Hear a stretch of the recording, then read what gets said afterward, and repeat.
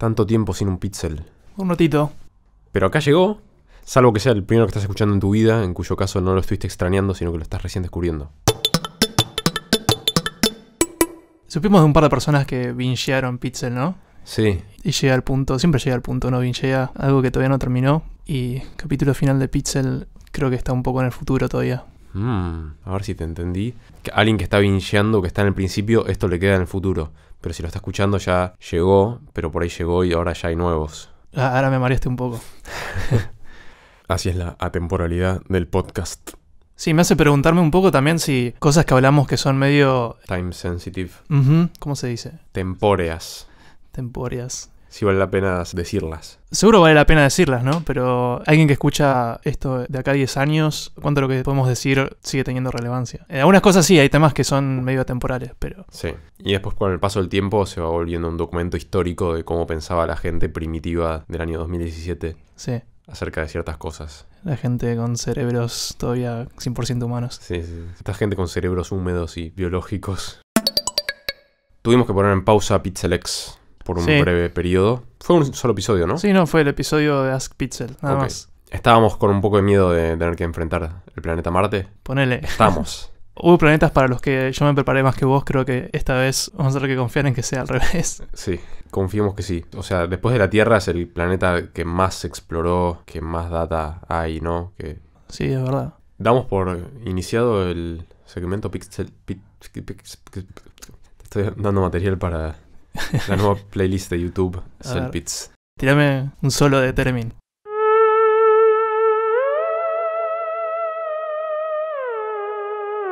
Marte, el planeta rojo. Desde sus valles más profundos hasta su montaña más alta, Marte es un país apasionante e interesante. ¿Es un país? Em, ¿No es un país? ¿Por qué es rojo? ¿Tenés idea? Sí, porque tiene óxido de hierro en la superficie. Ajá. Visto de acá se ve rojo. Visto de allá se ve rojizo, pero no tanto. Igual Sí. como las cámaras de los rovers ponen, le sacan fotos y se ve todo más grisáceo. Pero ya habíamos hablado de esto de que no se sabe exactamente cómo el ojo humano vería estando ahí. Claro. La atmósfera es de dióxido de carbono, ¿no? Mayormente. Sí, la tenuísima atmósfera. Mm. Sí. Pero le da algún color. De día se ve como medio también rojizo, amarillento, una cosa así, ¿no? En las fotos del rover. ¿La atmósfera? Mm. Mm, puede ser. Me- ahí me mataste un poco. No sé si. Supongo que sí, la atmósfera hace algún efecto visual. Pero la atmósfera es mil veces más tenue que la de la Tierra. Ajá. Hay 6 miliavos la presión atmosférica que hay acá, por ejemplo. Bueno, pero viste que, o sea, ves una foto de Marte y se ve, el cielo se ve de algún color. Si no tuviera atmósfera se vería se vería negro. como la luna, sí. Claro. Sí, sí. Así que sí, debe ser que ese dióxido de carbono hace algo a la luz. Entonces venimos Sol, Mercurio, Venus, Tierra, Marte. Y Marte es como de especial interés, tipo desde la ciencia ficción hasta la ciencia, hasta la ficción.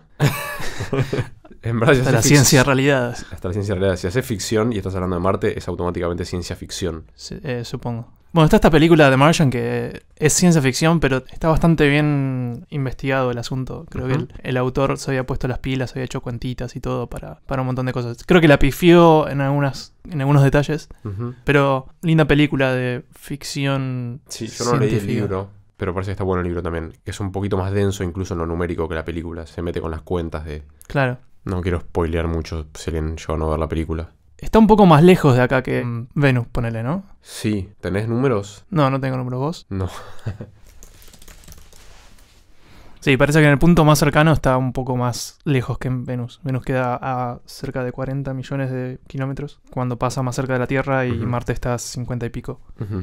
Pero habíamos dicho que Venus no es el lugar ideal para ir a, a vacacionar.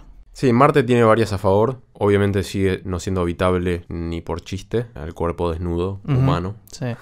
Pero tiene una gravedad tolerable, menor a la Tierra, 30%, 30 y pico por ciento, ¿no? Sí, que es bastante poco igual. Sí, bastante poco. No, Sí. no, o sea, no sería súper saludable estar ahí. No, me imagino que tendrías que hacer mucho gimnasio. Claro, es medio como estar en la estación espacial, digamos, poco menos malo que estar en la estación Sí, espacial. El día marciano, viste, dura parecido al día de la Tierra. sí. Dura 39 minutos y pico más, pero que es, es muy parecido. O sea, la rotación dura 24 horas 39 minutos. Sí, eso es coincidencia nada más, ¿no? Curioso. Sí, Pero, porque pudiendo variar cualquier, a cualquier otro número y que caiga justo con media hora de diferencia, es como una gran coincidencia. sí.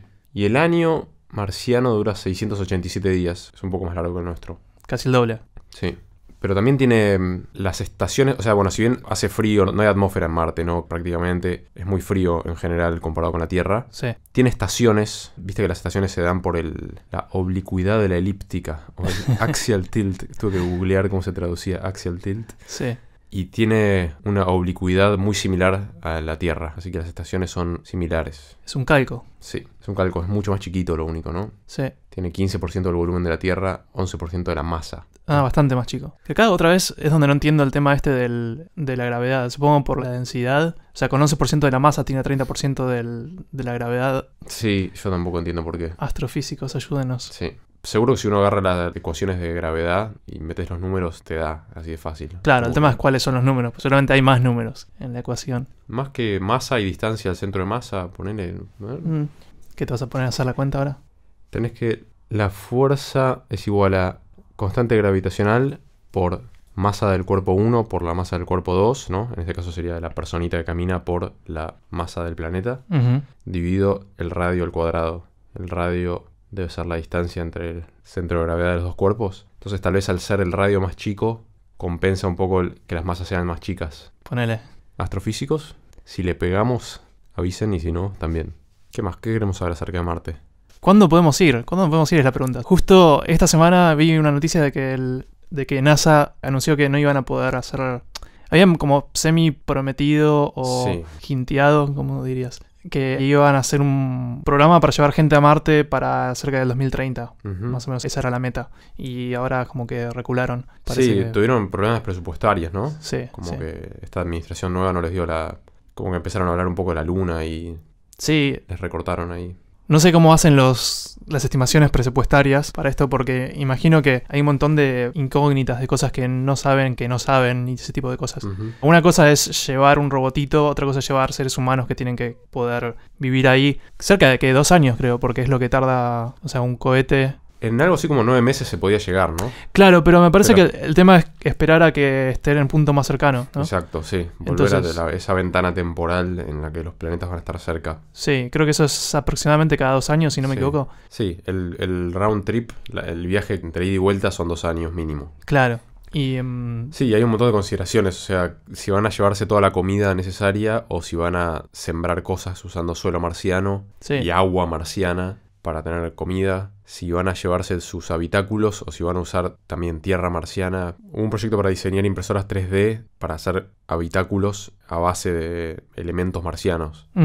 Y la idea era que usar la tierra de Marte, combinarla con algo y poder imprimir casas. Entonces no tenés que llevar tu casa. Casas de óxido de hierro. Sí, entre otras cosas que tiene la tierra marciana. Sí. Y les daría un color así rojizo como ladrillo, bastante, bastante nostálgico. Sí. Pero aparentemente el material se presta bastante bien a ser compactado y a hacer paredes y también puede llegar a brindar protección contra la radiación. Entonces, Ah, ese es otro problema no menor, ¿no? Sí, El tema es, no tiene, magnetosfera. eh, claro, tiene otro nombre eso, ¿no? También, o campo magnético, y no, no- entonces no hay protección de, de la radiación solar, Sí. Sí, que supo tener campo magnético. y se olvidó. Y se olvidó y supo tener probablemente agua líquida en la superficie y supo tener como una atmósfera. Y no se sabe exactamente por qué, pero posiblemente por muchos impactos de asteroides. Claro, Y esta física sí que no la entiendo. Perdió su campo magnético y al no tener campo magnético el viento solar empezó a llevarse puesta toda la atmósfera. o sea, el universo le hizo bullying un rato y... Sí. pero posiblemente tuvo como condiciones muy similares a la Tierra hace unos 4 billones de años. Sí, llegamos un poco tarde. Mm, 4 mil millones. Pero por ahí abajo de toda esa tierra puedes encontrarte un Ital Park marciano, un Carrefour. ¿Quién sabe? Sí. Sí. Bueno, estaba ese el rostro de Marte. Sí, alguna formación así, unas piedras que la gente veía. Sí, sí, era como una foto así muy baja resolución Sí. de la superficie y se veía como una especie de, de rostro medio egipcio, una cosa así. Ajá. Pero después sacaron fotos en alta resolución donde no Eran unas piedras, unas eran piedras nomás. montañitas. Tenía entendido que en, en el siglo XIX, cuando recién se estaban desarrollando telescopios que podían llegar a, a ver Marte con cierto detalle, muchos astrónomos lo veían, veían como si hubiera líneas trazadas sobre la superficie marciana, que creo que finalmente era efecto de, de la baja resolución de los telescopios. Pero mm, varios astrónomos de la, de la época como que lo interpretaron como que había canales artificiales hechos Mm. en toda la superficie marciana Sí. y empezaron a especular con que había una civilización que estaba conectando ciudades con canales como tubos, eh, Con Hyperloops. con hyperloops, claro. Sí, creo que en el momento que llegaron las primeras fotos de la superficie, o sea, obviamente los telescopios fueron mejorando y se pudo ver mejor, pero hubo un punto en el que la primera nave humana aterrizó, o empezó, en verdad, antes de que la primera nave aterrice, hubo una primera nave que orbitó Marte Sí. exitosamente, que fue el Mariner 4, más o menos en 1965, que era de la NASA, y fue la primera nave en mandar fotos a la superficie. Y como que hubo una, no sé si desilusión es la palabra, pero como que había una cultura fuerte de, che, en Marte puede que haya vida Sí, visible, así, civilización, todo, sí, sí. quilombo, fiesta. y llegó una foto que era, como sabemos ahora, que es la superficie, que es totalmente de- desolador. Claro, pero sí debe haber sido un poco desilusionante ir uno por uno viendo los, las superficies de los planetas de- medio de cerca y encontrarte Sí. con que... eh, Estamos solos. Sí, y Marte también todo el tiempo está dando indicios de que pudo haber vida, o podría haber vida, o quizás haya. Y también, tipo, la prensa siempre está buscando escribirlo de la manera más atractiva para que parezca que se descubrió algo increíble. Sí, Y ya hubo miles de titulares diciendo, se descubrió agua en Marte. Y tipo, che, no, no era que ya sabíamos que había agua. No, no, pero ahora es agua líquida. Ah, pero hay agua, hay agua líquida, hay ríos. Bueno, no, técnicamente no. Hay como un agua que medio que casi fluye porque tiene suficiente sal que hace que evita que se evapore instantáneamente. Porque toda el agua sobre la superficie de Marte se evapora porque no hay atmósfera. claro. No hay suficiente presión para mantenerla. Pero si tiene como mucha sal, ah, puede llegar a casi fluir. Y si no, está como hay mucha agua casi con certeza congelada en los polos. Sí, Suficiente agua que si se derritiera todo el agua de los polos marcianos, estaría todo el planeta cubierto con 11 metros de agua. wow. ¿Con islas o...? Eh, no, sí, habría, sí, habría islas. En Marte hay una de las montañas volcánicas más altas del sistema solar, si no la más alta, Ah, mira. que mide mucho más que 11 metros. Sí, pero lo más probable es que si hay vida o si hubo vida haya sido microscópica, ¿no?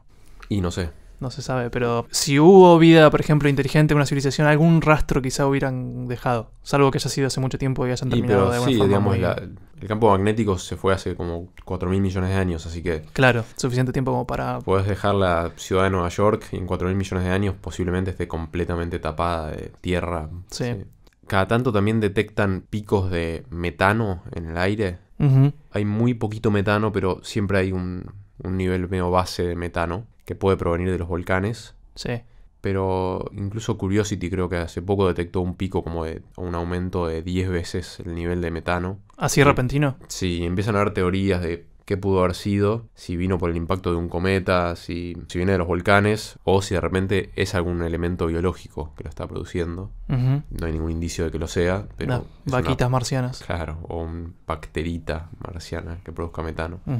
También dicen que puede ser un proceso no biológico que se llama serpentización, que no tiene nada que ver con serpientes. Que es como un proceso que le pasa a algunas piedras, serpentina, no sé, no, tengo- no tengo idea qué es, pero Curioso. no involucra vida y produce metano. Lunas de Marte.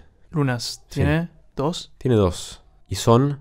¿Cómo son? Redondas. No, son súper irregulares Wow, y muy chiquitas. claro, bueno. Muy Eh, chiquitas. Sí. Titán, que era de Júpiter, Sí. Debe ser más grande que Marte, ¿no? No. ¿Para tanto? No sé. O sea, era como la luna más grande del sistema solar, ¿no? El satélite más grande. No, no, cre- no creo que sea más grande que... Es más grande No, que no es más grande que Marte. No, no. Claro, no, no. Pero no por muchísimo, ¿eh? Titán de radio tiene 2.500 kilómetros y Marte tiene 3.300, 3.400 kilómetros. Ajá, Es, es bastante más grande, pero no es claro. como una bestialidad más grande. Bueno, las lunas de Phobos, Marte, sí. Phobos tiene 22 kilómetros de diámetro. 22 kilómetros de radio. Sí, Wow.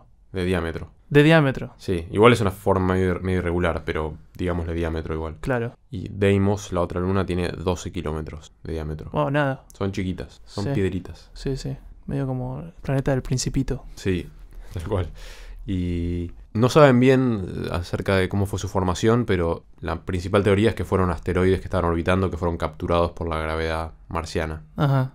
También hay una cosa medio loca que yo no estaba al tanto, que se llaman troyanos marcianos, Mars Trojans, ¿Qué es eso? que son unos objetos que comparten la órbita de Marte. Pero, ¿viste? Los Lagrange Points, no sé cómo se dice en, en Spanish tampoco. ¿Puntos de. Lagrange? Sí, puntos de Lagrange. En los dos puntos de Lagrange de la órbita de Marte hay objetos que también están orbitando. como a la par de Marte. ¿Orbitando al Sol o orbitando a Marte? Orbitando al Sol a la par que Marte. Sí. Estoy acá haciendo con las manos el- el- la forma de la órbita alrededor Sí. del micrófono. Este, 60 grados adelantado y 60 grados atrasado a Marte. Están estos objetos que también no se sabe muy bien cómo aparecieron ahí. Ajá. O sea, como que está haciendo como una conga.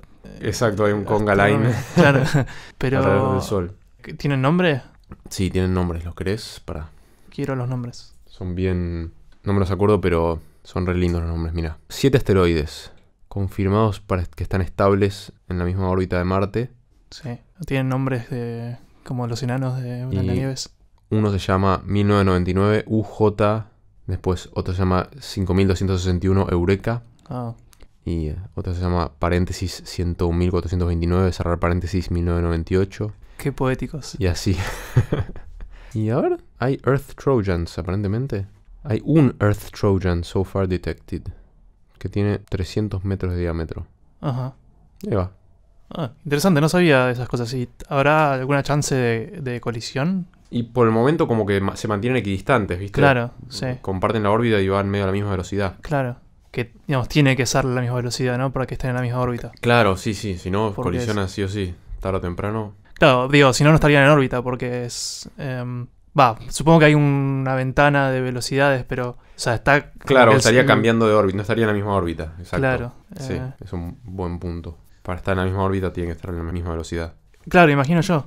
Es curioso el concepto este de que los objetos que orbitan a otro en el espacio en realidad están cayendo y errándole de alguna forma. Puedes decir que la Tierra y todos los planetas están cayendo hacia el Sol, pero a una velocidad angular.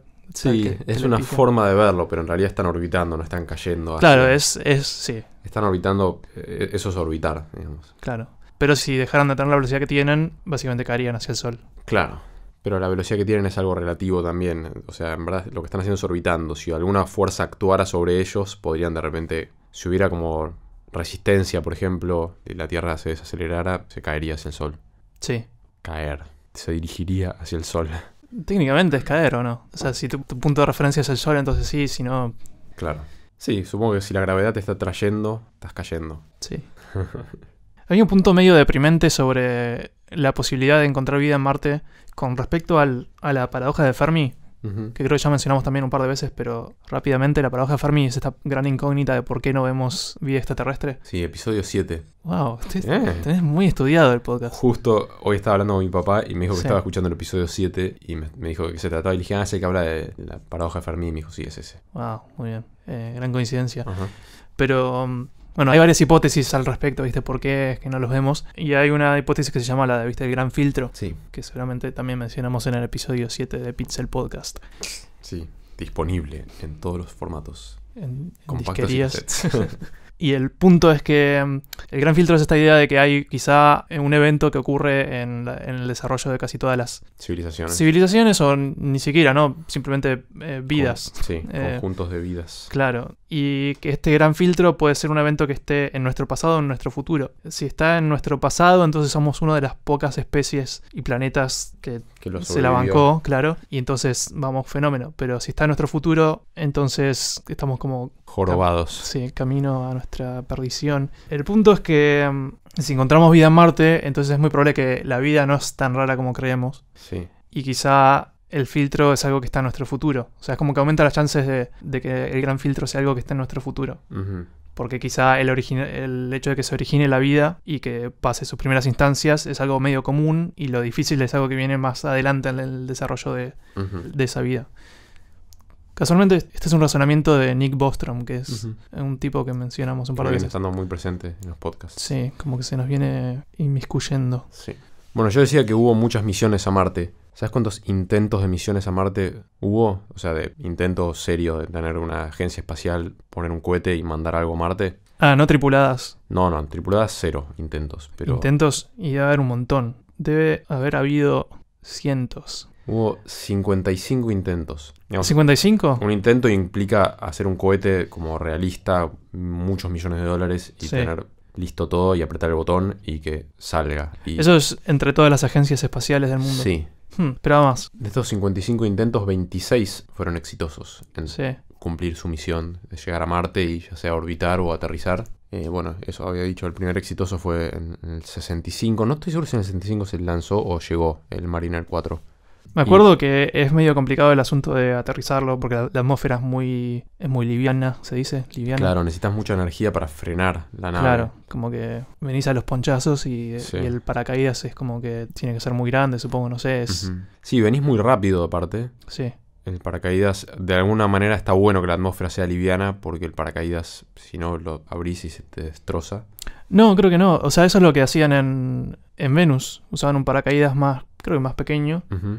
A pesar de, de lo tóxica que es la, la atmósfera de Venus, creo que podés construir un paracaídas que se la banca lo suficiente como para llegar hasta la superficie. Claro. Y es más fácil que incluso que en Marte porque es tanto más densa la, la atmósfera venusiana. Que más fácil claro. desacelerar. Frenás mucho más. Supongo que necesitas uno o varios paracaídas más grandes como para agarrar suficiente gas atmosférico como para frenar la caída.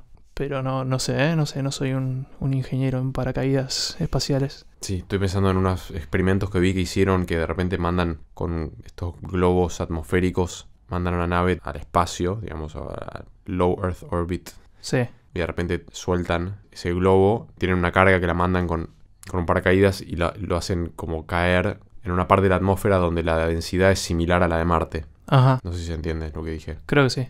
Entonces pueden hacer pruebas de paracaídas en una atmósfera similar a la de Marte, pero hacerlo acá en la Tierra. Claro. Y hicieron muchos testeos. O sea, bueno, tienen que tener un objeto y ponerlo a una velocidad similar a la que estaría. No es muy simple, pero hicieron experimentos y son difíciles de hacer y se les rompen los paracaídas. Y me- acuerdo de hace un año más o menos de estar viendo algunos test que estaban haciendo y Sí, como que decían que la tecnología de paracaídas por ahí no era la ideal y por ahí es mejor tener como retropropulsores o tener heat shields, pedazos de metal claro. grandes que vayan chocándose con la atmósfera y absorbiendo calor. Pero eso frena mucho el- la caída. Y por ahí menos que un paracaídas. Claro. Según recuerdo, el Curiosity tenía toda una combinación de cosas, ¿no? Tipo, tenía unos paracaídas, unos retropropulsores y después la nave madre medio que estaba flotando cerca de la superficie con sus retropropulsores y hizo descender el Curiosity con las sogas y hizo que se apoye y ahí y Sí. la nave madre se fue. Sí, que eso es otra cosa que muestran en... o aprovecha un poco The Martian, ¿no? ¿O me equivoco? En The Martian usaban el rover para algo, ¿no? O usaban la nave que lo hace descender, Sí, que después, una vez que toca el suelo, esta nave queda in- se la, se inutilizada. la aspira. se Ujú. las toma con... Claro, para no dañar el... Creo que el rover Se aleja. se aleja, como que Sí. pega un salto. Sí, sí, sí. Sí, no me acuerdo dónde vayan qué nave era la que encontraban. Si era una nave real o si era una ficticia de, como de otra misión futura. Creo que en, algu- en algu- alguna nave real se encontraban para darle valor nostálgico a la historia. ¿Sabes cuántas naves humanas hay actualmente en operación en la superficie o orbitando Marte? Por naves contadas cosas como los rovers. Sí. Eh, no sé, voy a adivinar. eh, 15. No, no son tantas, porque hay varias, por ejemplo, el. Creo que el Spirit, viste que era un rover, ese ya no está más en funcionamiento. Está en la superficie, pero ya está inactivo. Si no me equivoco. Hay ocho naves actualmente orbitando y trabajando en Marte. La mayoría satélites, ¿no? Sí, todos menos dos. Curiosity y Opportunity son los dos Sí. que están en la superficie. Y hubo un intento de aterrizaje este año que fue, ¿no? Schiaparelli, ¿viste? ¿Escuchaste? De la Agencia Espacial Europea. Sí. Trataron de hacer aterrizar una nave y, y fracasó. Tuvo un problema con los acelerímetros que como que empezó a girar un momento en el descenso y algún aparato pensó que ya la nave había aterrizado. Entonces dejó de hacer sus maniobras de aterrizaje y se Oh. estroló contra la superficie. Sí, algo había escuchado. Pero la otra parte de esa misma misión sí entró en órbita y, y está funcionando. Que es el ExoMars Trace Gas Orbiter. Hay otro, otra nave orbitando que es de la Agencia Espacial India. ¿Qué nos faltó de Marte? Bueno, ya, así habíamos hablado antes de los planes de Elon para llevar y hacer una colonia sustentable de, de gente. Sí, Que está un poco atrasado su plan. Sí. Pero mm, no sé cuánto se ve afectado con esto de lo de NASA. O sea, igual el plan de SpaceX es al margen del de NASA, ¿no? Pero imagino que si las dos entidades trabajan en, en el mismo objetivo, digamos, quizá hay problemas que pueden resolver para ambos. Sí, sí, definitivamente le juega en contra. Sí. Tampoco sé cuál es, cuál es el plan de financiación. ¿Tenés idea para SpaceX? También vi, la- vi en las noticias recientemente que estaban detrás de algunos fondos públicos con SpaceX. Sí. Igual la estrategia de SpaceX es un poco abaratar costos, Sí, y que sea comercial, digamos, que pueda ser para, claro. particulares. Pero bueno, cuestión que falta. Hay varias misiones en desarrollo. Tal vez el año que viene salga algún cohete nuevo hacia Marte. Y en 2020 hay unas cuantas misiones que están proyectadas para 2020. Tipo seis misiones. Ninguna con tripulación humana por el momento. Sí, por más que hoy el panorama es medio borroso, o sea, con NASA medio bajándose y SpaceX tiene su plan, pero está atrasado. Supongo que también tiene sus cuantas incógnitas. A mí lo que me esperanza un poco es que la industria aeroespacial está, está un poco en auge.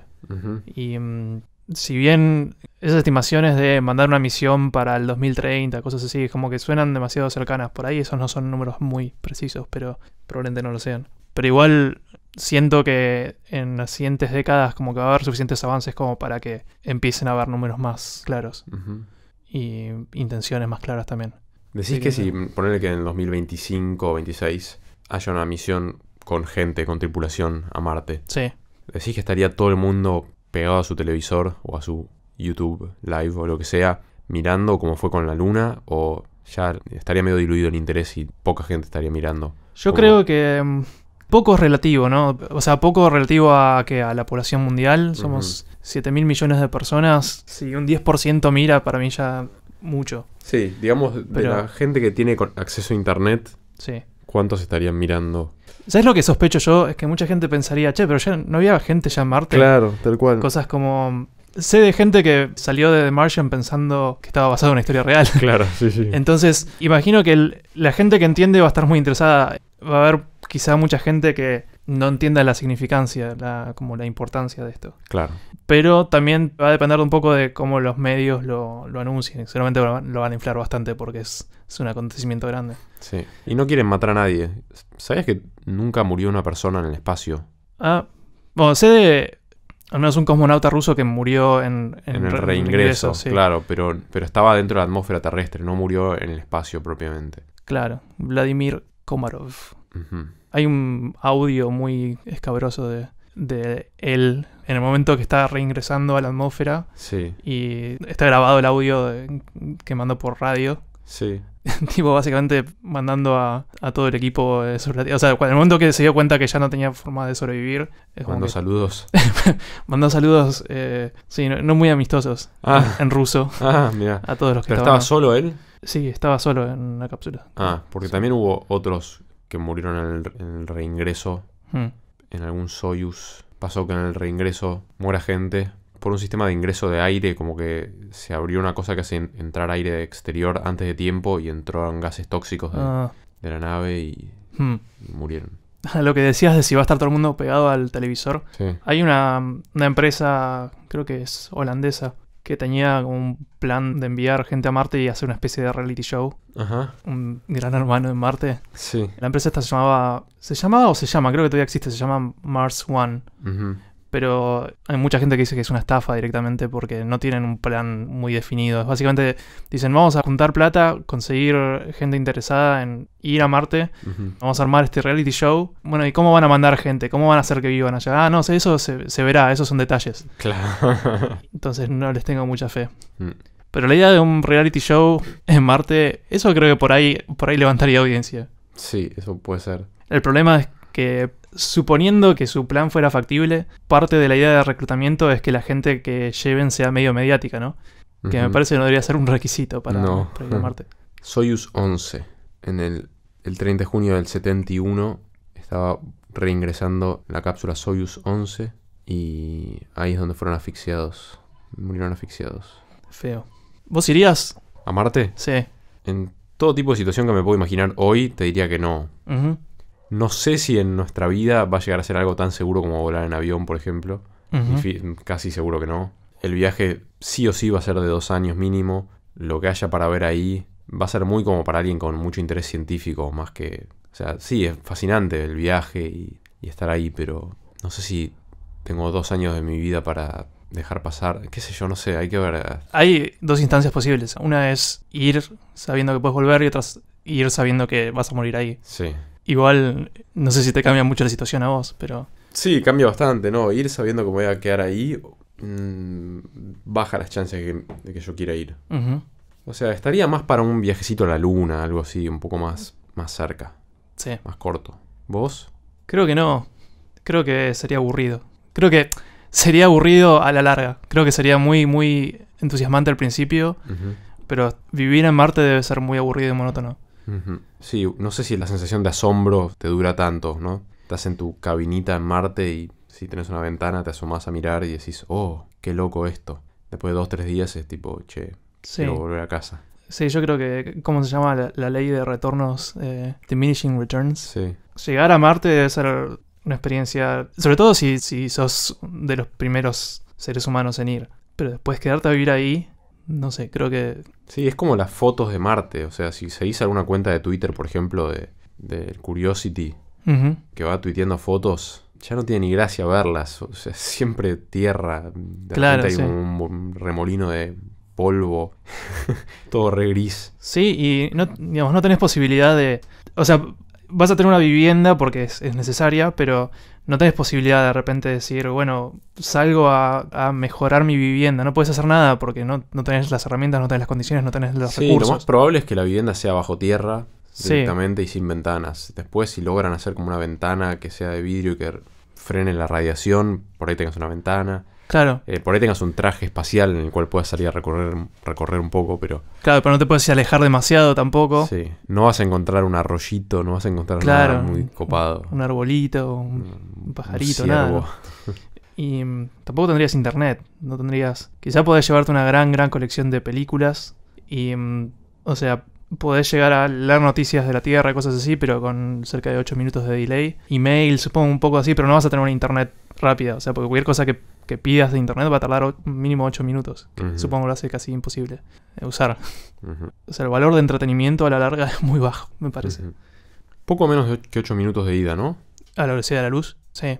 De todos modos, 8 minutos de ida, lo que significa que si, no sé, querés leer tu mail, Sí, sí, tenés 16 de vuelta. Claro, cualquier sitio web o cosa por el estilo que pidas, es 8 minutos para mandar el pedido, 8 minutos de vuelta. Sí.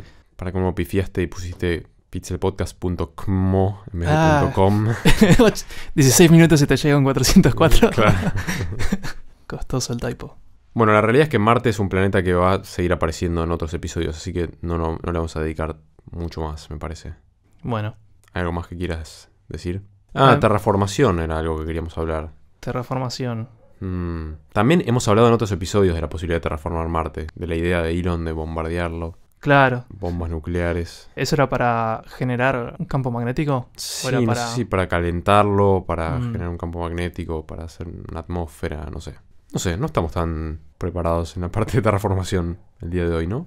No, pero el tema con esto de, de ir a colonizar Marte, ya lo dijimos antes, pero es o en la mente de algunas personas por el tema este de hacer que la, que la humanidad no sea una civilización monoplanetaria, uniplanetaria, no sé cómo llamarla. Sí. Como darnos así un- una especie de seguro, comprarnos un seguro de vida. Ujú. Por si llega a caer un meteorito gigantesco y nos causa una extinción masiva. Sí. Quería preguntarte, ¿qué opinas vos? O sea, desde el punto de vista de que es una inversión de recursos enorme. Mm, O sea, no es simplemente, eh, bueno, vamos y dejamos una personita ahí, está todo listo. Sino que es. Yo creo que en relación al beneficio que te trae, no es una inversión tan enorme. O sea, si el beneficio posible es salvar a la humanidad de la extinción, no sé si algunos billones que cueste fuera a ser tan caro. Sí. Eh, no va a ser fácil, pero como que está, estamos en buen camino. Si terminamos de resolver el tema de cómo tener habitáculos que se hagan con materiales de allá y podemos proveernos de comida allá Sí, y tenemos el agua necesaria eh, y encontramos formas de hacer combustible allá como para poder volver y para poder movernos tan libremente. Es un desafío ingenieril, pero tal vez no sea no esté tan tan lejos. Como que el- uno de los mayores problemas en este momento es cómo llevar cada kilo de cosas para allá. Es muy costoso por kilo, pero con este plan de cohetes reutilizables y... Sí, en realidad imagino que va a haber un montón de problemas m- no menores en el medio. Además de solo el cómo llevar. Sí, sí, solo la radiación durante el viaje Sí, ya es un problema no resuelto. sí, pero, o sea, teniendo en cuenta que un ser humano necesita de tener un ambiente semiterrestre como para vivir, cualquier cosa que sale mal en el camino, ya eso no. o sea, el punto es asegurar que todo eso más o menos funcione bien, debe tener cualquier cantidad de problemas, más allá de, de los más obvios. De haber un montón Sí. de problemas que ni imaginamos. Sí, sí, tenés que tener planes de backup para todo tipo de contingencia. Claro. Sí. Yo escuché a alguien decir, creo que de hecho fue Neil deGrasse Tyson. Ajá. Neil deGrasse Tyson no está a favor de esta idea de, de que ir a Marte como, Plan B. como plan B, como seguro de vida, Sí. eh, sea una buena inversión de recursos. Porque según él, esos mismos recursos se podrían usar para como mitigar un poco las, las posibles causas de, de una extinción masiva de la Tierra. Yo creo que. O sea, eh, los, los números son siempre muy abstractos, más cuando como somos gente como vos y yo hablando de esto que no tenemos ni idea. Pero las posibles razones de extinción de la vida en la Tierra creo que son muchas. O sea, no podés prever todas y no podés. Seguro no podés mitigar todas, ni, ni saber cuáles van a ser. Por lo que me parece, a mí me parece que es una buena idea el tener un segundo planeta habitado. Sí, creo que también incluso hab- hablamos en algún episodio de por qué la luna no es tan buena idea. Porque otros podrían decir, che, ¿por qué no colonizamos la luna, Sí. que es más cerca? Y es, es bastante más inhóspito. Es más inhóspito todavía, sí. No tenés ni siquiera una atmósfera, mucha menor gravedad. Imagino que tampoco de tener un, un campo magnético. Creo que había algo con los elementos que tenés a, a disposición. O sea, en Marte tenés agua muy accesible, tenés carbón, carbono, digamos. Tenés dióxido de carbono por todos lados, entonces tenés como elementos para crear agua, tenés para hacer oxígeno respirable muy fácilmente Sí. a partir del dióxido de carbono. Tenés para plantar plantitas. Sí, honestamente no me imagino una segunda Tierra en la Luna. Solo por el hecho de, de que la gravedad es tanto menor. Creo que no podrías terraformar la Luna. Podrías quizá tener como una pequeña y pequeña colonia que dependa de la Tierra para la subsistencia. Viste que NASA estuvo. o sea, salió en algún artículo de, de un programa de la NASA para tipo deflexión de asteroides. Van a hacer un intento con un pequeño asteroide que viene hacia la Tierra que no va a impactarnos, que es un sistema de dos asteroides de hecho, y a, a uno de los dos, creo que al más chico, van a hacer que una nave impacte contra él, a ver si logran cambiar su trayectoria al menos un poquitito. Que no la manden para este lado. sí, que no la pifien. Sí, digamos, yo no soy quien para decir dónde conviene poner recursos, si en tecnología de defensa contra asteroides o defensa contra tormentas solares o de defensa contra el calentamiento global o cuestiones más sociales, defensa contra guerras nucleares, autoaniquilación. Sí, en general, en, esas cuestiones no es un tema de decidir por uno u otro. O sea, porque generalmente todo, todo eso se va a investigar en mayor o menor medida. ¿no? Sí. Sí, pero siempre hay gente que dice, che, pero ¿por qué están gastando plata si hay gente muriéndose de hambre y cómo van a poner plata en esto? Habría que poner toda la plata en Sí, que- que pero. viva mejor la gente hoy, no sé. Sí. Bueno, hay problemas que simplemente por agregar más plata no vas a solucionar más rápido. Y hay cosas que podés investigar cuyo, como que el objetivo es muy largo plazo, como esto de Marte. O sea, si, si tu objetivo es evitar que una catástrofe en la Tierra acabe con la vida, eso podría ocurrir de acá a mil años, ¿no? Entonces, o sea, hacer im- empezar la investigación, empezar a tratar de llevar humanos a, a Marte hoy es una inversión quizá mil años o más, con lo que es difícil de ver un poco el beneficio, pero Pero eso concluye el segmento Pixelex del día de hoy. creo que sí. Hicimos una mini encuesta en nuestro Patreon. Sí, Habíamos dicho inicialmente que a los patrocinadores del podcast les íbamos a dar la oportunidad de elegir entre temas cuando estemos indecisos acerca de qué tema elegir. sí. Y por primera vez pusimos un poll y tuvimos unas respuestas y salió elegido. Ransomware. Sí, había dos candidatos. El otro candidato era... Beep. Ah, el Eh, secreto. no, sí, creo que mejor no, no tirar spoilers. No va a estarlo, ok. Bueno, y este era ransomware y otras estafas relacionadas con criptomonedas. Sí, si no les gusta el tema, ya saben, se pueden quejar con nuestros patrons. Sí. O tienen que pasar a ser Patreons para tener voto. Eh, Eso también. Bueno, estuvieron en las noticias recientemente los... eh, va, en particular este ransomware que se llama WannaCrypt o WannaCry. Sí, para alguien que no supiera qué es ransomware. Ransom es, Rescate se dice, ¿no? es como un secuestro, ¿no? Sí, es como... Un secuestro con rescate. Y ransomware es la versión virtual de eso. Es como es software malicioso que generalmente lo que suele hacer es encriptar tus archivos o de alguna forma secuestrar tu información y te piden un rescate generalmente en Bitcoin. En general estos, estos programas se suelen propagar con algún troyano. Un troyano, viste, es, por ejemplo, te llega un mail con un archivo ejecutable y vos no entendés mucho quizá. Javier acá que no entiende mucho, Ujú. abre los emails ejecutables y, Sí. y así es como que termina perdiendo sus bitcoins. Pero este WannaCrypt no usaba un troyano, o sea, no requería de, de interacción del usuario.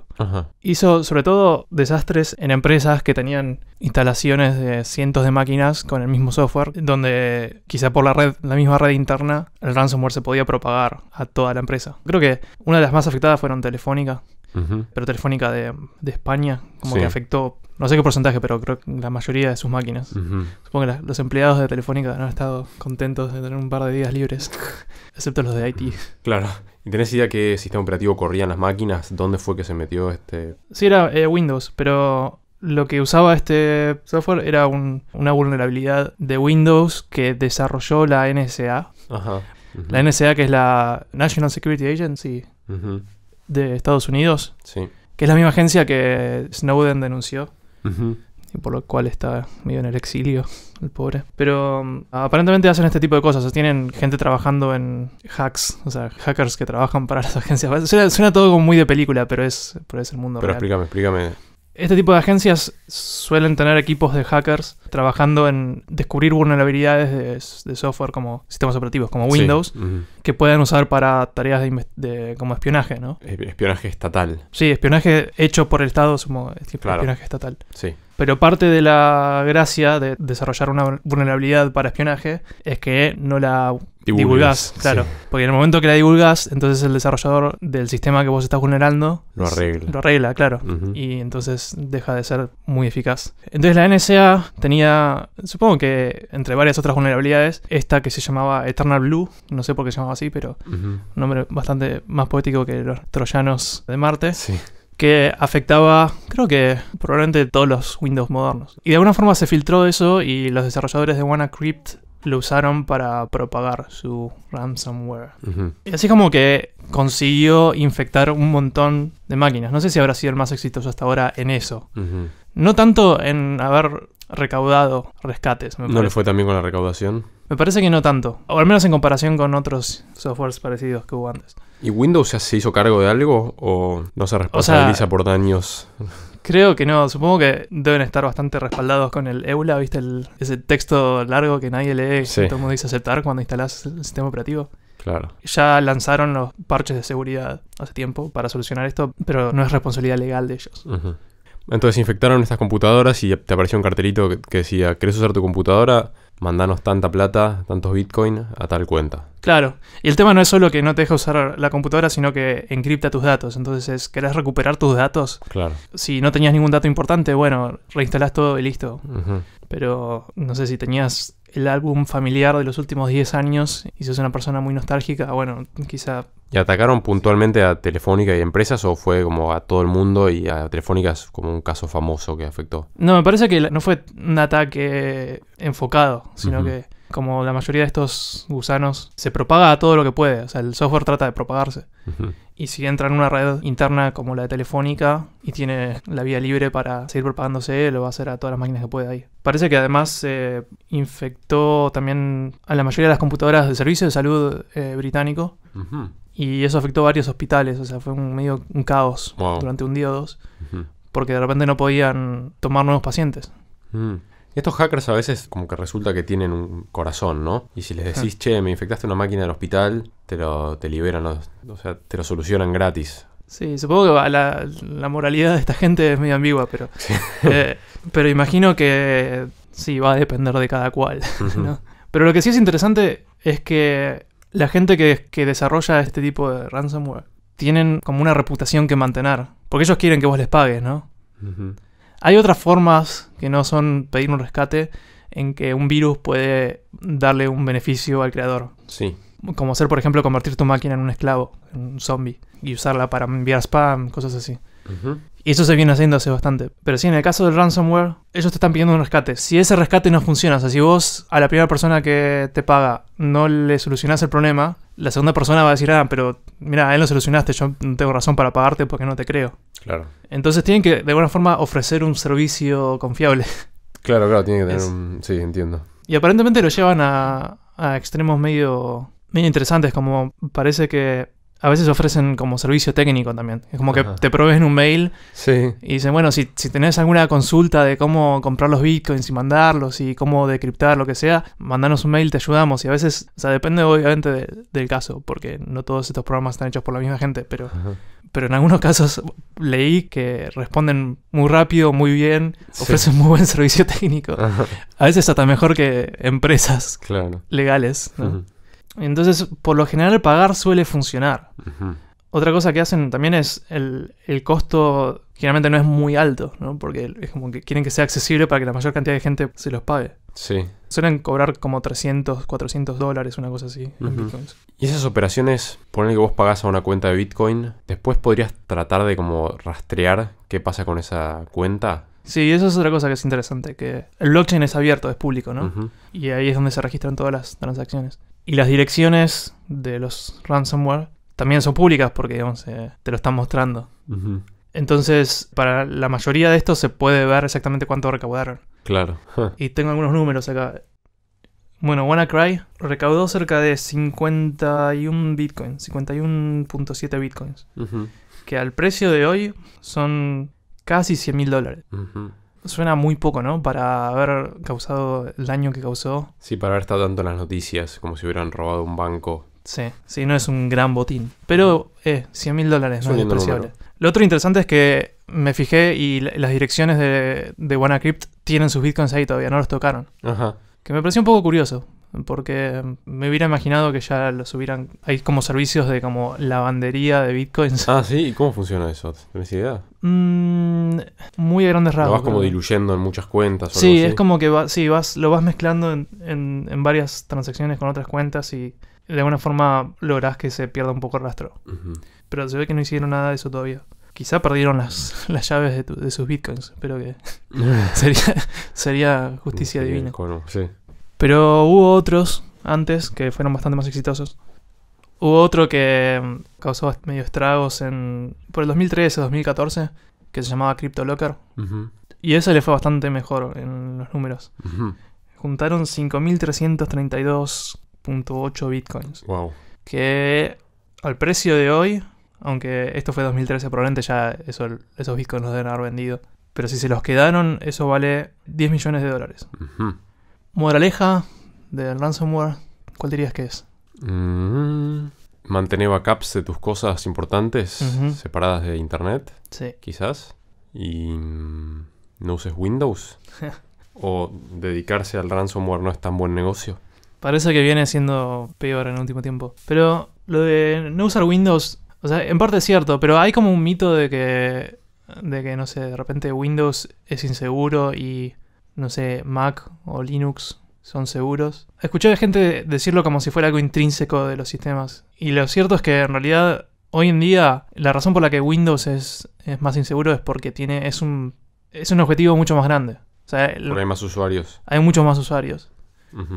Entonces hay, hay más incentivo para la gente que desarrolla este tipo de software para desarrollarlo para Windows Sí. que otros sistemas. Sí, había una noción de que Mac no tenía virus. Como no existía. Claro. Y, o sea, en cierto punto es verdad. Yo no sé por qué no, no ocurren más. Supongo que simplemente porque los desarrolladores de virus siempre van a atacar el, Foco más grande. el foco más grande, que va a ser, o sigue siendo Windows. Pero si como el market share de, de Mac alcanzara el de Windows, yo creo que empezaríamos a ver mucha más competencia en ese, en ese campo. El hecho de que su software venga dentro de su propio hardware le dará algún agregado de seguridad o de control al que escribe el software. Para- o sea, al tener que hacer un sistema operativo menos flexible, porque no, no está preparado para funcionar en cualquier máquina. Yo no sé si eso tanto, pero quizá el hecho de que Windows suele ser bastante compatible con versiones anteriores. O sea, mantienen como retrocompatibilidad con un montón de software que se llama de legado, entre Ujú. comillas. Eh, hace que, o sea, al tener que soportar todo ese software anterior, aumentan como el, el área, el área atacable. Ok. ¿Vos mantenés backups, Javier? Eh, yo sí mantengo ¿Sos backups. un niño cuidadoso? Uso un servicio online que me hace backups automáticamente. Ajá, sí, eso práctico, pero, pero costoso, ¿no? Sí, costoso, no sé. O sea, lo tengo hace más o menos un año y todavía no gasté el equivalente de haberme comprado un disco rígido externo. Claro. Es lento y yo que uso archivos muy grandes, Sí. como que estoy demandando mi conexión a internet continuamente. Pero me sorprende que, o sea, tardó mucho el backup inicial, muchos meses. Sí. Pero una vez que hice el backup inicial, eh, grabo un proyecto nuevo y, y al día siguiente ya estaba capeado. Mm, Si filmo mucho video, sí. generalmente, no sé, después lo edito y la materia bruta la pongo en una carpeta de como exenta de backup para que no se esté backupeando gigas y gigas de videos que no necesito Claro. tener backupeados. Sí. Sí, eso es un tema con video, sobre todo, que es- suele ocupar un montón. Sí. Me resulta por el momento porque estar backupeando manualmente nunca fue mi fuerte. No, no, requiere un montón de disciplina además. Sí, organización. Sí. ¿Vos backupeás de alguna forma? Mm, más o menos, sí, pero no. Soy un poco más codito que vos, entonces no, no pago ningún servicio, pero hay un par de mm, hosting de archivos, se llama, y puedes usar software para sincronizar un poco. Pero no es lo mismo que un backup tampoco, ¿no? Porque no, no es como que mantengo backups con estampa de tiempo, ¿no? No tengo una serie de backups de- como para decir, ah, bueno, se me jodió algún archivo eh, que sé que hace tres meses estaba bien, entonces puedo volver tres meses. Claro. No sé si el servicio que vos usaste deja hacer eso. Em, no, me parece que se va actualizando, no, no tenés muchas copias Claro. con fecha. Es, es más, está más orientado a que se te rompe el disco. Si te Claro. rompe tu disco rígido, volvés atrás. Claro. listo. Bueno, en ese caso es como un equivalente a lo que vos haces, ponerle, pero gratuito. Como no trabajo con archivos tan pesados como vos, mm, más o menos me funciona. Pero Hay otro tema informático que está mucho en las noticias últimamente que quería preguntarte. No sé si estás preparado para contestar. estas computadoras. Sí, que es el tema de net neutrality. How do you say in Spanish? Neutralidad de la red, Ok, eso. supongo. Mm, ¿Querés explicarlo para alguien que no sepa de qué estamos hablando brevemente? ¿Crees que lo haga yo y lo explique mal? Dale. ¿Preferís hacerlo vos bien? Eh, quiero escuchar tu explicación. Dale, a ver. Mi explicación es que hoy en día existe una situación de neutralidad de la red, al menos mayormente. Tal vez haya algún... ¿En dónde? En casi todos los países del mundo, hasta donde yo sé. Em, como que hasta donde yo sé, las- los, los ISPs, los proveedores de... ¿Cómo se dice? Los proveedores de Internet Sí. de acá, de Argentina, no están poniendo trabas artificiales a la velocidad de, subida y de bajada a cierto sitio y acelerándome otros. Hasta Sí. donde yo sé. Y mm, creo que de eso se trata un poco el, el tema, ¿no? Que un grupo importante de gente, la mayoría de la gente, quiere que la red siga siendo neutral y que los proveedores de internet no puedan, digamos, cobrarte extra para que vos accedas a, rápido a, a cierto contenido. O Claro. no quieren que tengan control sobre qué contenido accedes fácilmente.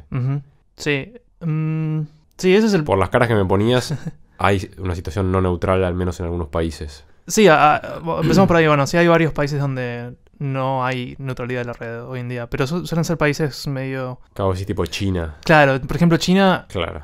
censuran a la mitad de Internet. Eh, no tenés, creo que... No tenés YouTube, no tenés... Creo que no tenés Google, no tenés Facebook. Hay censura muy fuerte, incluso de la red interna. Y como China hay otros países que censuran. Creo que Rusia también tiene algo de censura. Después hay países completamente extremos como Corea del Norte, donde creo que No hay ni acceso a internet. Probablemente no haya ni acceso a internet, o sea, deben tener 100 máquinas con acceso. Sí. Bueno, pero en, en la mayoría de los países, no sé, entre comillas normales. Sí, en el resto de los países. El ponele, resto de los países, ahí está. Hay más bien neutralidad. Hay mayormente neutralidad. Suele haber excepciones, pero el punto por el que está ahora medio en las noticias es porque Estados Unidos está a punto de.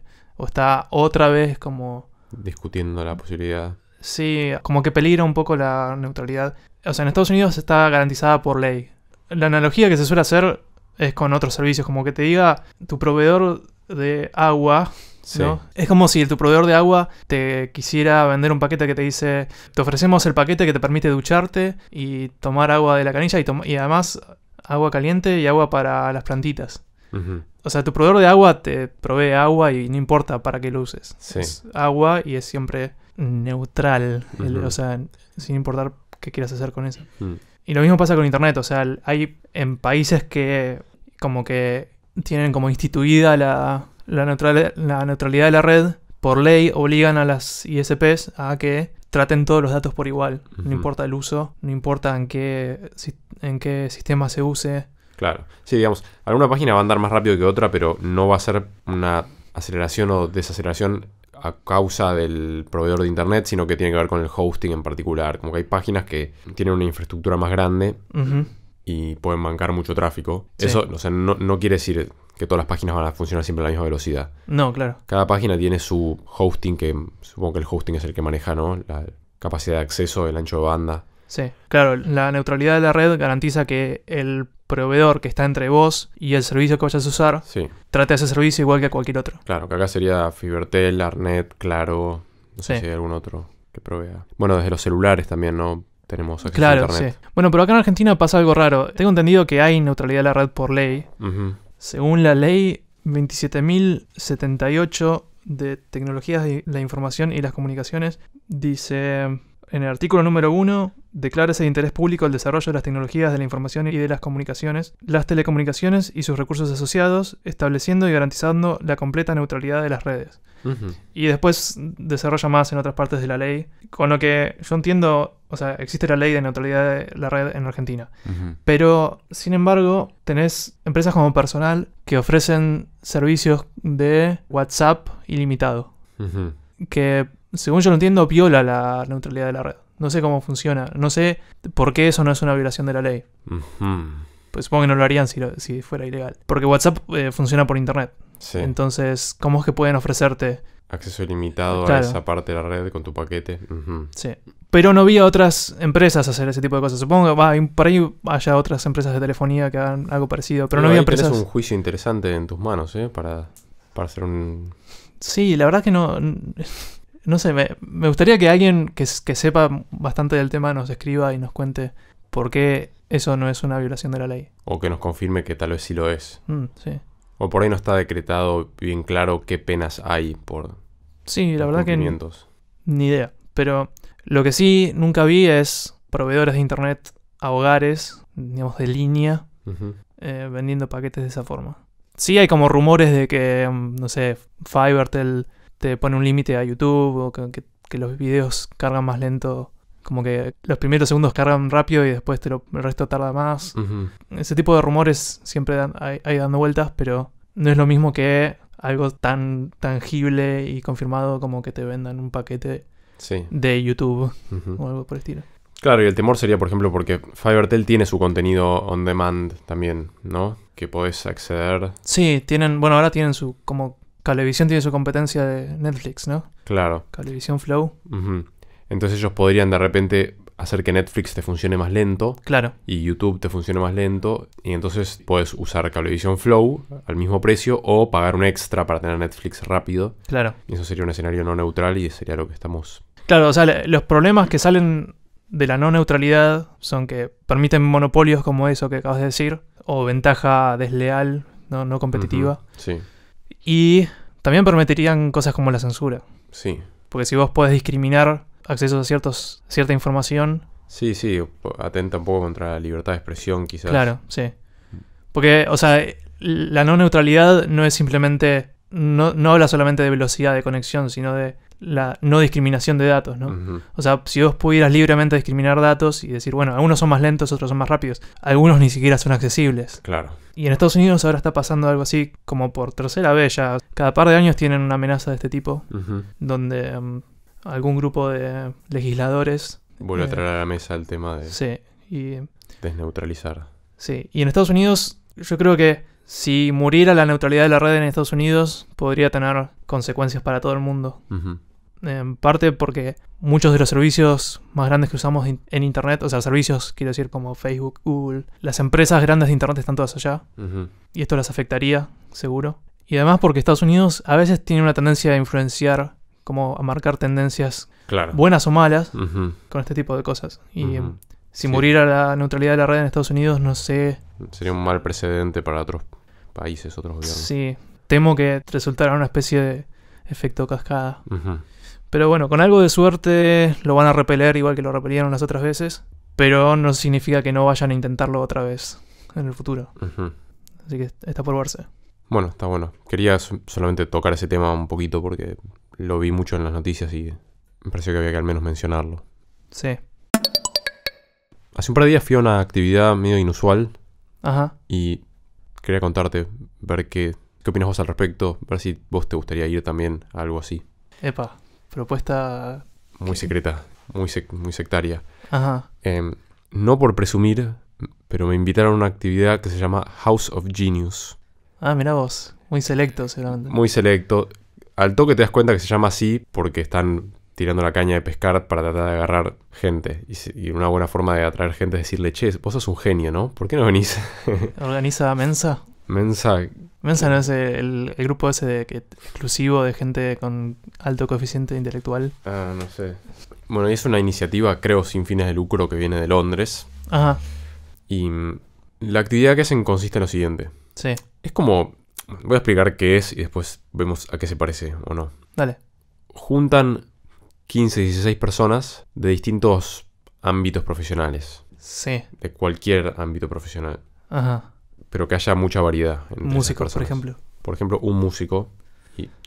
y, Ah, t- Los 16 son de cosas que no se repiten, ¿no? Sí, no se repiten. sí. Ajá. Y la única regla es que al llegar al lugar no puedes develar a qué te dedicas. Ok. a los demás, a nadie. Y tenés un ratito ahí para charlar, tomar algo y después sentás en una ronda y viene una empresa y presenta una, un obstáculo, una dificultad que está teniendo. Sí. Eh, no voy a decir qué empresas vinieron porque creo que eso puede llegar a ser confidencial. Pero vino una empresa mm, internacional muy grande Ajá.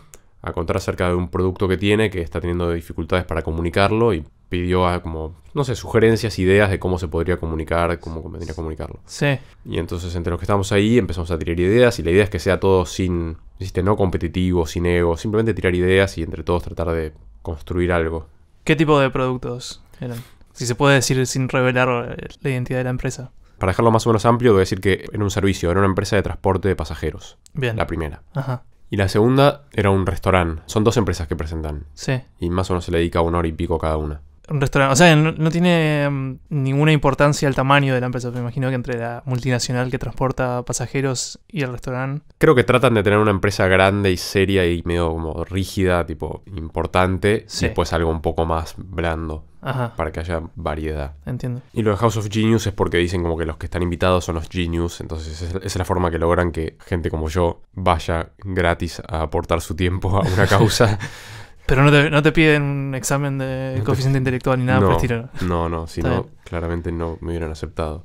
Fue relativamente divertido, interesante al menos, un buen pasatiempo. ¿Cuánto dura? Tuvo- dura, toda la cosa du- habrá durado tres horas, más o menos. Entre las dos empresas. Sí, y un recreo en el medio para sandwichitos y... Ajá. Estaban buenos. Había cerveza artesanal. ¿Eran vegetarianos? Había unos sandwichitos vegetarianos. Tuvo, eso estaba bien. La comida estaba bien. Sí. Em, Y esto es gratis, dijiste, ¿no? Sí, es gratis para todos. Nadie. No, no sé de dónde sacan la plata para los sandwichitos, por ejemplo. Y Claro. el espacio creo que lo, lo donaba la consultora que hace, que trajo este concepto a la Argentina. Sí. ¿Vos estarías dispuesto a ir? ¿Te interesaría ir a algo así? Sí, me intriga un poco. Suena que podría llegar a ser divertido. No sé si por tres horas. Y no sé. O sea, vos dijiste que es como que quieren evitar que los egos entren en cuestión y todo eso, ¿no? Sí. Pero siempre hay como, ¿no? Es como, como en el aula que siempre está el, el alumno que, que levanta constantemente la mano para demostrar que sabe más. Sí. Me imagino eso ocurriendo en, en un grupo de 16 personas, me lo imagino ocurriendo bastante. Sí. Sí, creo que depende mucho de qué conjunto de gente se junta. Sí, Y alcanza con que haya uno medio que quiere presumir o quiere demostrar cuánto sabe para que se transforme en la actividad en algo medio pesado. claro. Es, Ah. es difícil que las 16 personas sean todas sin ego y todos estén como tirando ideas sin querer ganar. Claro, sí. ¿Y mm, eh, cómo fue tu caso? ¿Hubo alguno así? o? No fue perfecto, digamos. Sí, había un poco de... Había alguno que otro que quería demostrar cuánto sabía. Sí. ¿Y el, el Pero formato? en general estuvo, estuvo bastante bien. El formato, a ver si lo entiendo, es, o sea, hacen una presentación del problema. Sí, presentan un poquito la empresa, explican qué son, qué hacen, Sí. presentan el problema. Y después, por turnos o cada uno levanta la mano. Bueno, eso fue un poquito parte del problema en esta vez, que, Sí. que la gente eh, hablaba y por ahí el que pegaba el grito más fuerte tenía la palabra, pero había una chica moderando y eh, al toque empezó a asegurarse de que todos tengan igual, que haya neutralidad de respuestas. Ok. Entonces si había alguno callado pero que levantaba la mano, le decía, bueno, ahora para vos, para hablar, vamos a preguntarle a él qué opina. ¿Y había diálogo entre los genios o era...? Sí, sí, también había diálogo, sí. Pero como que también idealmente no tendría que haber como mucho debate entre los genios, simplemente algún tipo de conversación constructiva, pero no tipo, no, yo creo que para el transporte de pasajeros habría que hacer esto, no, para mí no, estás equivocado, porque, o sea, Claro. no es momento de estar analizando realmente datos, o sea, no puedes hacer mucho estudio, no sabes mucho, no, no tenés contexto. Claro. Para mí puedes, puedes hacerle preguntas al presentador para que el presentador te diga la realidad de la empresa hasta donde la sabe Ujú. Y después, no sé, tirar ideas. Ok.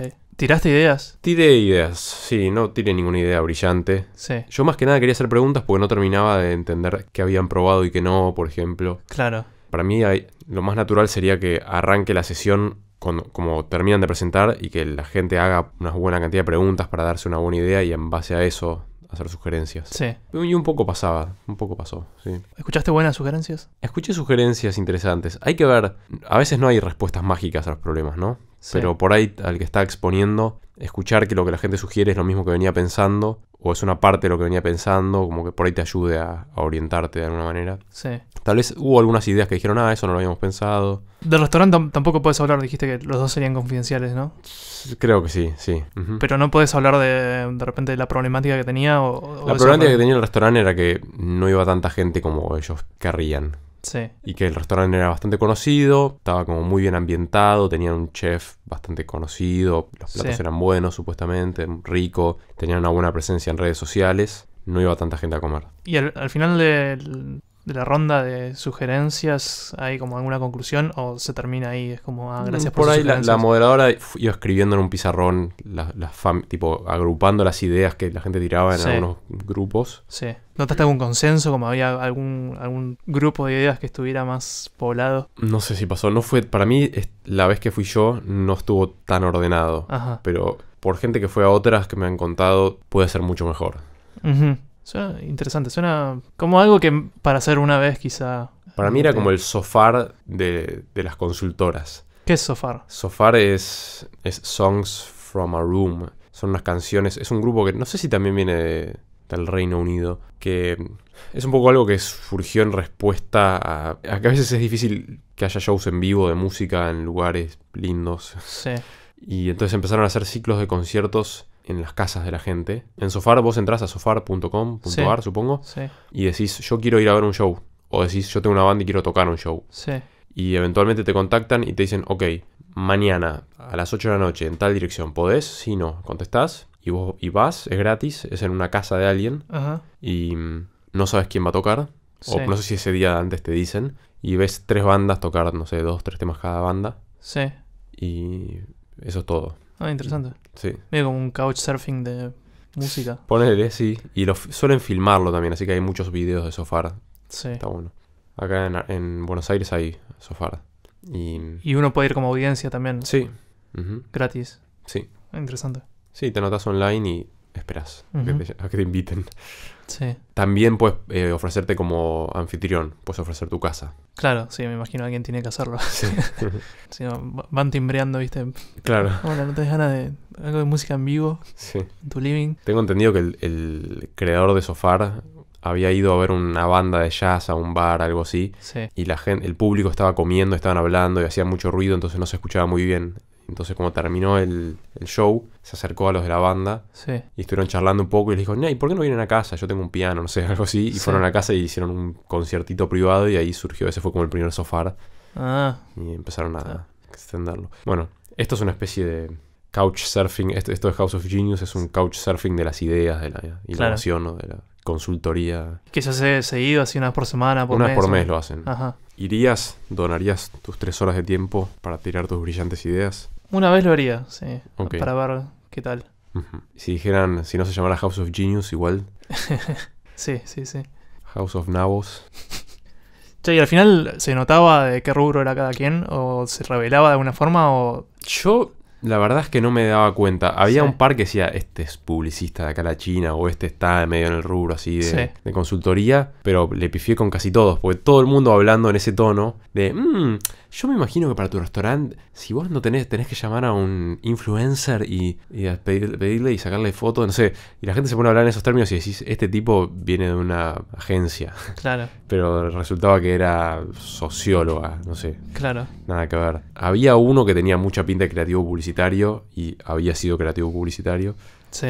Ahora tengo miedo que, que Porque al esté final. escuchando el podcast. se revelan, o sea, al final dicen. Al final hacen una ronda breve donde decís a qué te dedicas. Sí, Como algunos festejaban como diciendo, sí, sí, yo sabía, yo te había adivinado, viste que te dije que ese era sí.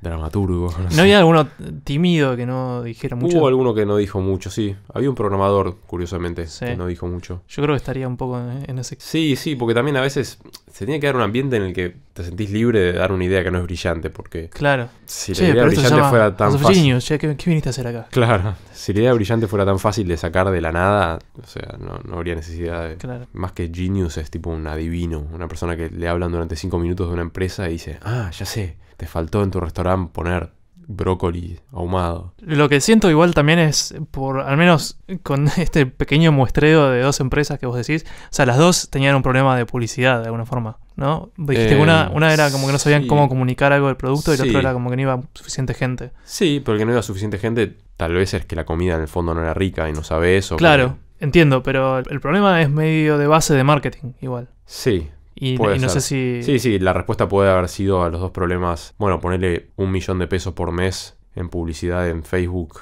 y en YouTube y fíjate qué pasa. Y Claro, tal vez no claro. tenían esa plata, no sé. Pero podés decirlo, o sea, podés tirar esa idea, si te parece que es lo que va. Claro, o sea, me gustaría saber si en, otros, en otras instancias aparecen problemas un poco más variados, que no sean simplemente no tenemos la llegada que queremos o algo por el estilo. Sí, pero también siempre hay como ideas creativas para tener llegada que no implican poner plata. Sí, seguro, seguro. Pero no, la idea me parece que está buena y la actividad es divertida y me parece piola que haya gente que lo hace y que no, no- no lo hacen con un fin de lucro, simplemente lo hacen porque les gusta la filosofía de ayudar, de colaborar y al- algo así. Claro. Lo mismo con, con Sofar, ¿viste? No lo hacen por la plata, no, no hay plata. ¿Vos eh, hiciste varias sofar? Em, vamos a hacer un Sofar con Jacinto eh, a confirmar septiembre, Ah, wow. octubre. Pero en ese caso uno, uno tiene que caer invitado, o sea, no, Sí.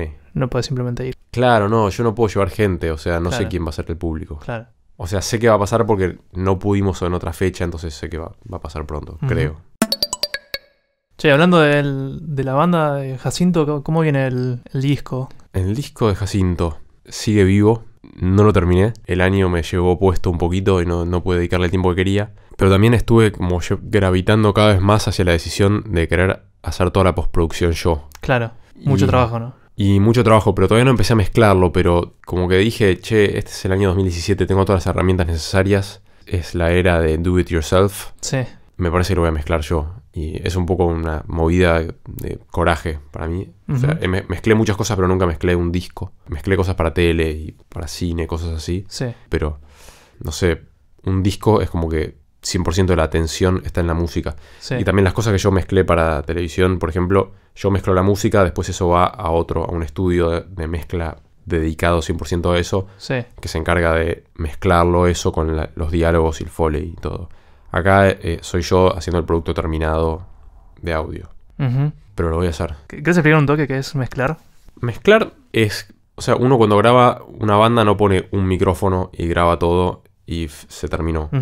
Como mínimo pones muchos micrófonos, dos micrófonos, si grabas a la banda todos a la vez. Claro, O algunas cosas las grabas directamente con enchufas la guitarra y lo o el bajo y lo grabas de ahí.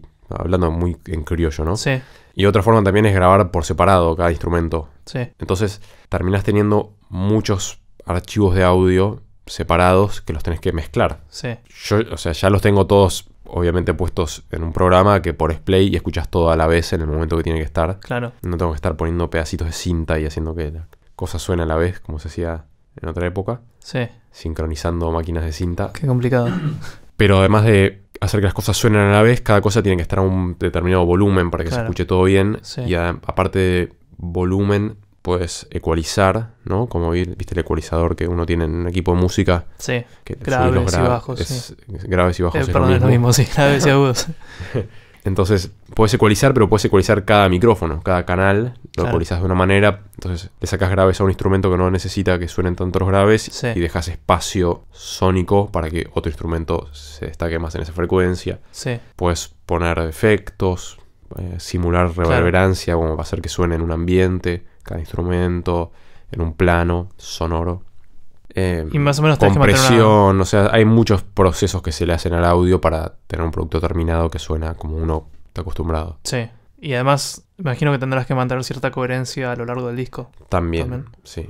Y eso es a veces lo que hace el ingeniero de, de masterización, Claro, al final. que lo voy a hacer yo también. Y que sí, que tiene que ver con una compresión para igualar más o menos de volumen a los temas entre sí y darles un color también de ecualización similar. O que, los- que el contraste que hay entre un tema y otro sea el que vos querés que tengan. Sí. Y también que te asegures de que ese audio va a responder bien a cualquier equipo de sonido. Aunque es medio imposible de hacer, ¿no? Pero asegurarte que está bien balanceado, que no está excedido de graves o excedido de alguna frecuencia, que está todo controlado. Que la voz se escucha siempre bien, o sea, sé, todo. Hacer que suene. Bueno, Cuando vuelva de viaje, voy a embarcarme en ese proceso. bueno, éxitos. Algo va a salir. Tenemos una fecha estimada, Y también más o menos octubre. octubre, ok. Pero también muchos artistas que yo más admiro se encargan de todo el proceso. Como que son gente que Claro. lo hacen y Sí. ya. Obviamente hay gente especializada para cada parte del proceso, pero sí, son cosas que uno puede hacer. Sí, por lo menos como mínimo eh, sabes que todo más o menos va a estar como vos querés, ¿no? Sí. Si, si algo sale un poco mal, sos el único que se puede culpar, pero... Pero bueno, vivo haciendo ese tipo de trabajo, entonces Claro, no sí. hacerlo para mi propio disco también es- me sonaba un poco raro. Sí, eso ni hablar. Sí. También Gusi, el, el percusionista de la banda, tiene bastante experiencia mezclando, así que Ah, ¿te va a dar una mano? me va a dar una mano, al menos me va a hacer como con una segunda oreja. Yo mezclo algo, se lo mando, lo escucha, vamos a hacer Sí. un poquito de Bien, interacción. Después también te lo voy a mandar a vos y me vas a decir tu opinión. Con un emoji. Opinión profesional. Vos ya sos un editor profesional de audio. Eh, si eso le llamas recortarlos, eh... Bastante exitoso el video con los eh, mm, ah. ¿Sí? No me fijé de cuántos... cuántos Eh, en views proporción tenía. a los views que suelen tener nuestras cosas en YouTube, Sí. tuvo cierta actividad. Quizás haga algún otro experimento de ese tipo en el futuro.